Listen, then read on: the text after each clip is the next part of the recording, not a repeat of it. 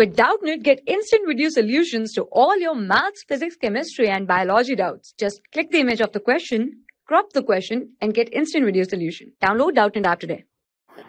Hello students, welcome to Doubtnut. So let us solve this question now. So this says that 75.2 gram of phenol is dissolved in a solvent of KF14.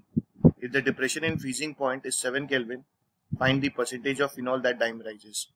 So for this question, we'll assume that we are having 1 kg of solvent. I think there's a printing mistake, so this should be a 1 kg of solvent. Now this is a question directly from depression in freezing point. We know that delta TF, that is depression in freezing point is equal to IKF into M, where I is the Van't Hoff factor. So I here is the Van't Hoff factor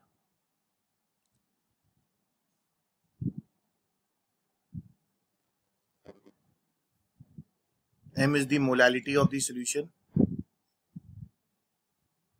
And kf is called as molar depression constant or cryoscopic constant.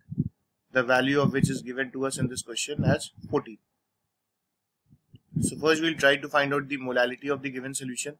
So we know that the molar mass of phenol is 94 gram per mole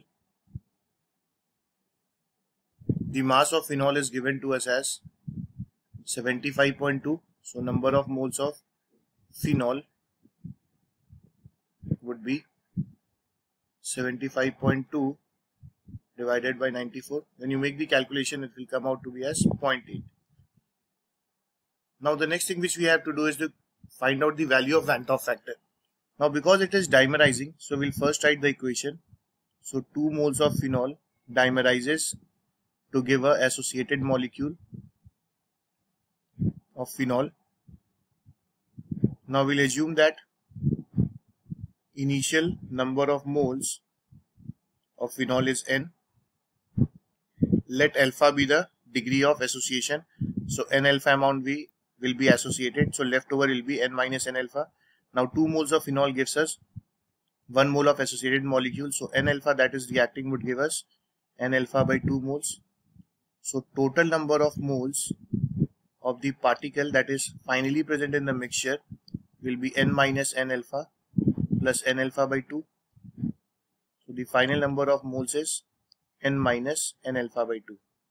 Now we know that Van't Hoff factor is total number of particles finally which is n minus n alpha by 2 divided by initial number of particle which is n. So the value of Van't Hoff factor is 1 minus alpha by 2. So now since we have calculated the value of Van't Hoff factor, now we'll just use this formula. So delta TF is given to us as 7 Kelvin. The value of I is 1 minus alpha by 2.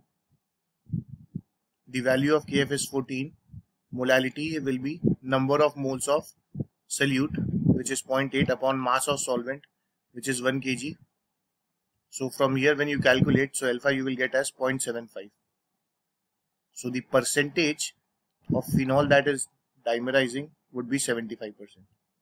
So answer of this question would be A. So I hope you have understood this question now. Thank you students. For class 6 to 12, IIT JEE and NEET level. Trusted by more than 5 crore students. Download Doubtnut app today.